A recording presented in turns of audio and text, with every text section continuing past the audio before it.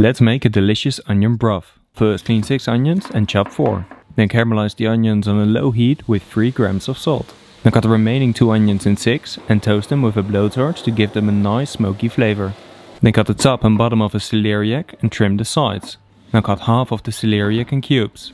Once the onions are caramelized, deglaze the pan with 250 grams of Madeira and then transfer it into a big pot.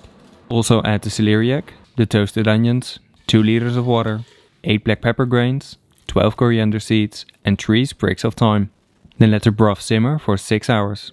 After that pass the broth through a fine sieve and let it drain for at least 30 minutes so you don't waste a single drop.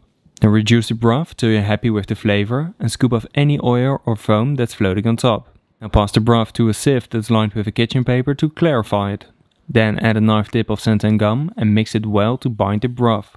After, season it with salt and sherry vinegar.